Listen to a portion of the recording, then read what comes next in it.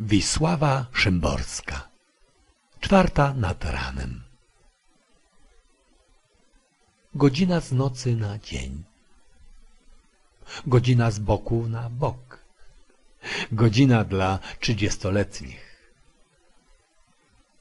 Godzina uprzątnięta pod kogutów w pianie. Godzina, kiedy ziemia zapiera nas